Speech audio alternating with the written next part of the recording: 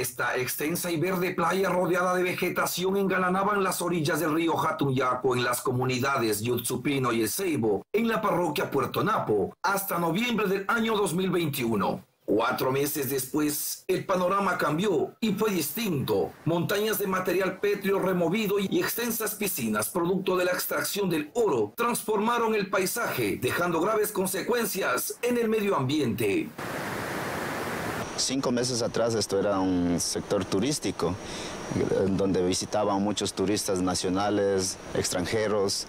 Eh, lamentablemente vino lo que es la, eh, la, minería. Estas fotografías que nos facilitaron representantes de colectivos en el Tena muestran de lo que alguna vez se podía admirar desde este lugar, al pie del árbol más grande y longevo del sector, y que los lugareños decidieron llamarlo incluso así a la comunidad por el árbol del, del cebo que nosotros tenemos aquí, un árbol milenario que tiene más de 300 años de existencia. La comunidad se quedó sin uno de sus emblemas centros turísticos, pero que, a criterio de los representantes de los colectivos, esto se tiene que remediar lo más pronto posible es necesario hacer una evaluación y un levantamiento de los pasivos ambientales para cuantificar la cantidad de reposición o de reparación que se necesita tanto en, lo que es suelo, en lo que es agua. La comunidad El Ceibo siempre le apostó al turismo para sostener la economía. Hoy le ve el lado positivo y han iniciado el proyecto de reubicación de este mirador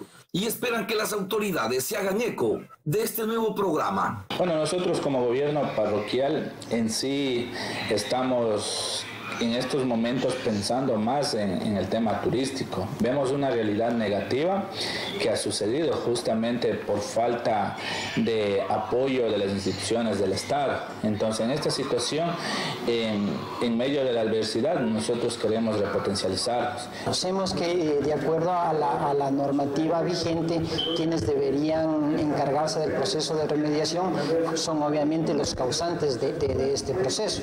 Y al no, si es que no se determina quiénes son los causantes desde el Estado, quién debería eh, iniciar este proceso de remediación. Esta es la nueva cara que ha dejado la minería, lo que no hace mucho tiempo fue un lugar de caminatas, hoy un monumento a la devastación.